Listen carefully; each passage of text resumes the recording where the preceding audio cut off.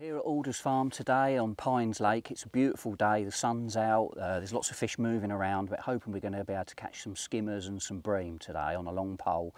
There's been loads coming out, um, been catching quite a few of them myself. A couple of weeks ago in a match I caught 48 pound of, of bream and skimmers. On the peg I'm actually going to fish today, uh, that actually won the lake. There was, I caught a few carp as well a bit later on, so hopefully we'll, um, we'll have a really nice day.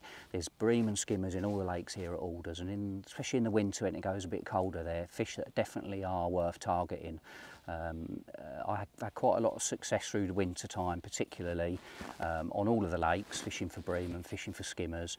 And there's one particular mix that I've been using for about the last year or so. I've caught plenty of fish with it and it's something that I'm really confident in. So I tend not to change it. I, I use it all the time.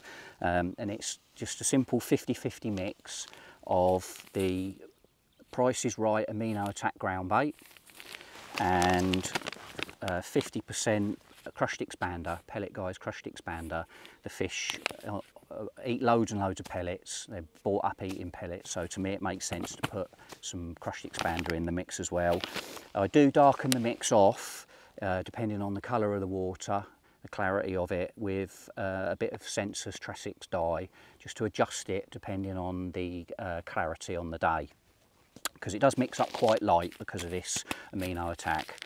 Uh, and then the only other thing I do, and this is something Trevor Price put me on to about a year ago, and again I've caught loads of fish every time I've used it, so to me there's no need to change it, um, and it's the amino liquid, Price is Right amino liquid, it's strong old stuff, so you only need a tiny little bit, bottle will last for ages, um, I just put a tiny little bit in the cap and I put that in the water that I'm mixing the ground bait with.